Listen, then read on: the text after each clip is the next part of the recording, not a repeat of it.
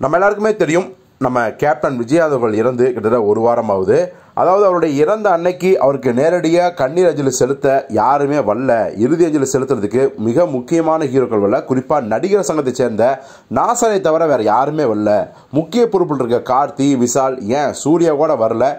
சிம்பு தனுஷ் இவங்களும் வரல. அப்படிலாம் வந்து கடுமையான விமர்சனம் இருந்துச்சு. இதில் பார்த்தீங்கன்னா கார்த்தி அவருடைய அப்பா சிவகுமாரோட வந்து இறுதி அஞ்சலி செலுத்திட்டு போனார்.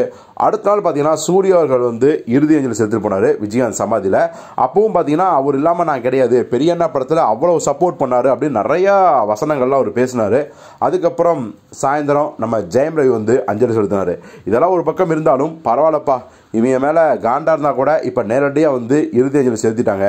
ஆனால் அஜித்னு ஒருத்தர் இருந்தார். அவர் மட்டும் மன்னிக்கவே முடியாது. அவர் பாரு இறுதி அஞ்சலி செலுத்த வரலனா கூட பரவாயில்ல. அங்கேருந்தே ஒரு அறிக்கை விட்டுருக்கலாம். அது இல்லைனாலும் பரவாயில்ல. இப்போ பார்த்தீங்கன்னா ஒரு பார்ட்டியில் ஜாலியாக டான்ஸ் ஆடிட்டு இருக்காரு. இது எவ்வளோ பெரிய வன்மம் அப்படின்னு சொல்லி அஜித் ரசிகர்களே பயங்கர காண்டாயிட்டாங்க எனக்கு அஜித்தை ரொம்ப பிடிக்கும். ஆனால் இந்த மாதிரி ஆக்டிவிட்டிஸால் அஜித்தை வந்து வெறுக்கிற அளவுக்கு போகுதுன்னு நிறைய பேர் சோசியல் மீடியாவில் வந்து கமெண்ட் போட்டாங்க. இப்போது விஷயம் என்ன அப்படின்னா அஜித் அவர்கள் சென்னைக்கு வராரு. ஆக்சுவலி விடாமுயற்சி ஷூட்டிங் பார்த்தீங்கன்னா பேக்கப் எல்லாம் வந்துட்டாங்க. அஜித் மட்டும் இருக்கார்.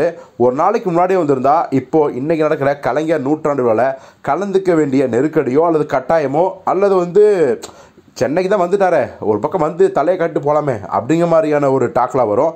அதை தவிர்ப்பதற்காகவே ஒரு நாள் லேட்டாக வராரு அப்படிங்கிற தகவலாம் சொல்கிறாங்க எது எப்படியோ வந்த அஜித் அவர்கள் அதாவது சென்னைக்கு வந்த அஜித் அவர்கள் வந்த உடனே கேப்டன் விஜயகாந்தோட வீட்டுக்கு போய் அவருடைய மனைவிக்கும் அவருடைய இரண்டு மகன்களுக்கும் வந்து அவர் வந்து ஆறுதல் சொல்ல போகிறாராம் ஸோ இதுதான் இப்போதைக்கு தகவல். விஜயகாந்தோட சமாதிக்கு போய் அஞ்சலி செலுத்துவார்னு எதிர்பார்க்கப்படுகிறது. பட் அவர் வீட்டுக்கு வர்றது கன்ஃபார்ம் ஸோ பொறுத்திருந்து பார்ப்போம். அஜித் அவர்கள் நாளைக்கு வராரா இல்லை அதுவும் தள்ளி போகுதான்னு.